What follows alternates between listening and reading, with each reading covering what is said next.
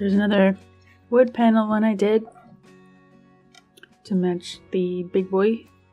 And I have another frog sketch to use for another one. I don't know what I'm going to do with it exactly. It's all very, I don't know, random. Like this one, the color scheme was literally just uh, leftover paint from whichever one I did before this. And so I mentioned in a video about my weekend at the flea market and someone had made a little seed bead ring uh, like a friendship ring or whatever. And of course, I ended up breaking it. but I was to make friendship pins anyway to put on my shoes. So what I've been doing is I've been measuring what I have and seeing how much of all this space I could fill up. And I'm being conservative in sense like if I had them close together, I even have a bunch that I think would like be in batches together because it looks better that way than just having like one painting next to each other the whole way around. so I'm only getting up to here, which means there's all this, which I think I can do a bit. I just need more frames. It's not like I, it's not that I don't have enough art. It's just I don't have enough frames, and I'm I'm not going into this like with the expectation that I'm like selling all my art. Um, so whatever I invest in frames, I'm likely going to have to keep for a long time, and I don't want to. um, there's this whole grid section here which I hate because uh, it's it just blocks off the windows because it's a converted building. Metal grid system, it's just like squares, and I don't really like hanging stuff on it. I can tell they don't really like hanging stuff on it either. Um, but it's unfortunate the positioning because it's right against the door. So you want to put the most exciting stuff visible from the door. So that's it's it's just this ironic kind of annoying. One thing that I'm doing is I'm redoing this image. It was from a long time ago because I had this painting, which is now, I cut it up so I could reuse it. Uh, I had this painting that I, I liked the concept, but I didn't like the execution, right? Because I wasn't very good at drawing. So I literally just quickly redid this. Also, like the paper is better, so I get nicer color. And this one's like really pale and stuff. And then I have to buy another frame. I don't want to buy more frames. Here's a few that I have found recently. I got this one um, it's in really good condition. It's like this really nice brushed metal, which actually looks not bad. It doesn't have a mat in it, so I need to get that. but it does have glass. And somebody had some old wood ones, which I have restained. I bought this one at the flea market. It's just a silly painting thing, but I really love the color of the wood, and this is actual wood, not fake wood. I just ran out to get these. These are little tiny flyers that I made. Uh, I just got like regular flyers printed and I'll just cut them out myself. You know me, I kind of like a variety and it's kind of like the fun thing. Remember when they had uh, Moo card coupons where you get like 50 cards from Moo, the website, moo.com? And they were really nice because you can get um, pretty much as many different images as you want for your business cards. And people love that because I would be like, oh, if you want a business card, like choose one. And then people get really freaking excited because then they get to choose which picture that they like the most. And so I was hoping to do the same thing with the flyers. Do you like artichokes? Do you like whatever the hell that is? Do you like ghosts, I guess? Do you like foxes? So I don't know, I feel like that makes people a little bit more excited to take your print media. this is my attempt, y'all. Aren't these nicely done? Like, look how crisp that is. I wonder if they do art prints. they don't officially, but I feel like if I gave them a paper weight and texture and, and the art. I think they could do a good job because these colors are kind of perfect. And it's pretty crisp looking. Pretty soon, at the same time as the art show, I'm also going to be trying out a one day craft fair at a place called Lavenderland. Lavender Farm. It's really small. The people who own it have made a little like theme park, except it's not really. It's like they invite people to go and take Instagram pictures there. But anyway, it's off season, and so they use it as a hosting uh, venue for little events and stuff. So I'm gonna go to a craft fair there, and I'm kind of excited about it because it looks really pretty, like the building itself. And the best part is, is that I don't have to bring my own table. It's not going to be a table. It's going to be a retail um, display. And there's little ones that are like these cube stacked tiered shelf thing. And I decided to pick that one for some reason. Maybe a shelf, like a side shelf, would have made more sense. but I just wanted to try. I always like doing things that are weirder. but that means that I don't have to lug a bag of display materials with me to this place, which means I'll be able to bring more product. Probably not a lot of foot traffic. If it's lavender farms, probably not next to a lot of like residential areas. So it might be a destination event, which might not be a good thing, but I gotta try it.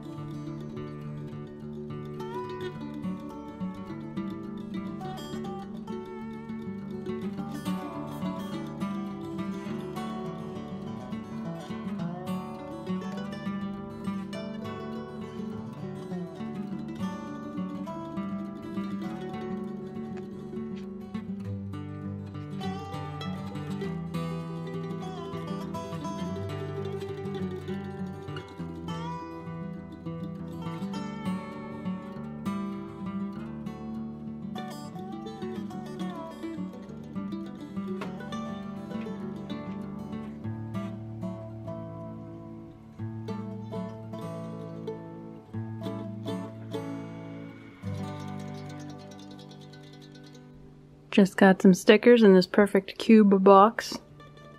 I got these from Sierra Print, Crows, and I got this frog, butt.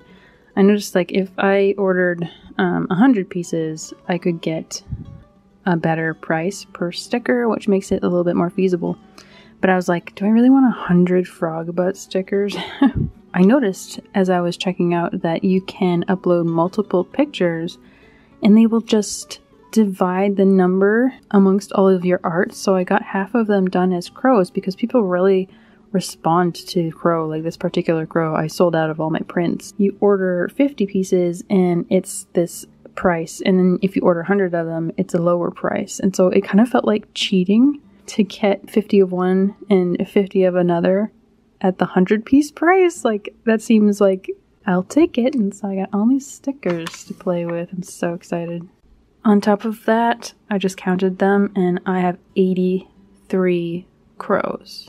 That's an obscene number of crows. Because I know a lot of these places will throw in a few extra that they keep in case something goes wrong.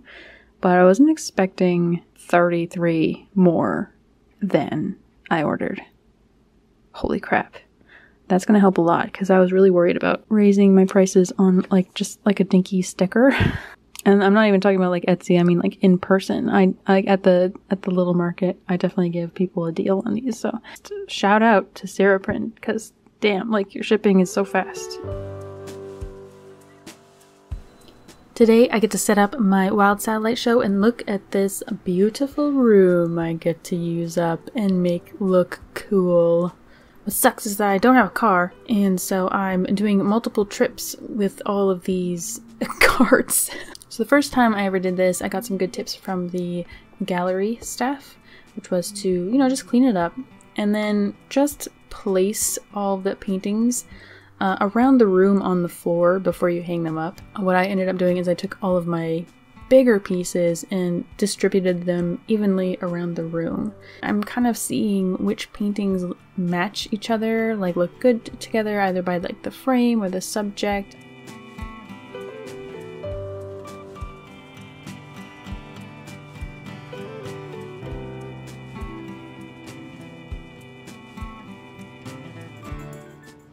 Another good piece of advice was to hang everything in sort of batches so that the line is kind of broken up and it's not just one singular uh, row of single lonely paintings at the same height across the room, you know what I mean?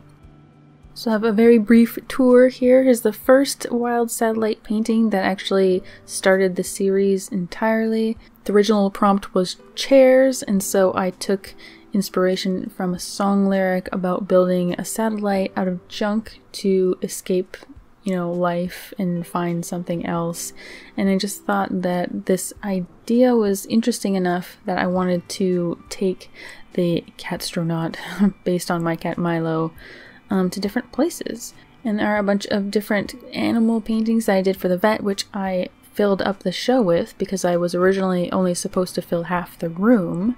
So I took any sort of magical looking animal paintings I had and added them to the show as if they were characters that he meets in his journey.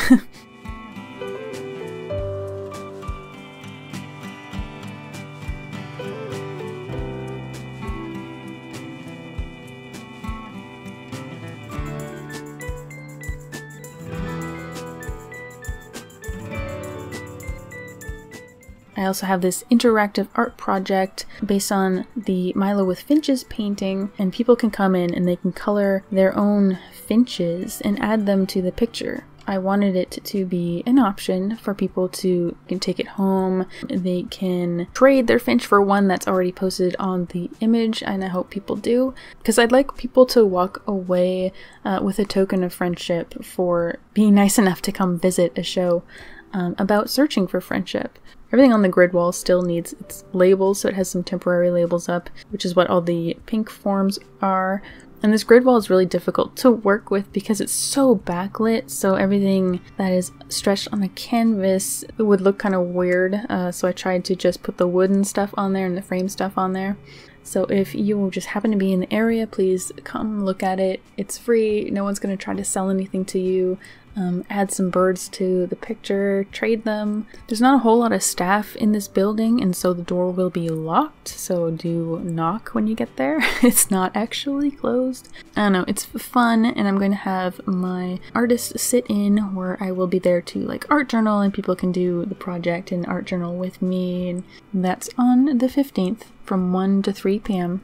So thank you uh, not just for watching, but also just being little cheerleaders, especially with this uh, series. I think it's a favorite for some of you, and especially to patrons and anyone who has ever ordered from me. You've made it possible to do all of this, especially like all the framing and everything. I'm just really excited and appreciative of all the love. And now I'm going to uh, go take a nap because I feel like I've moved my entire apartment and I'm so tired.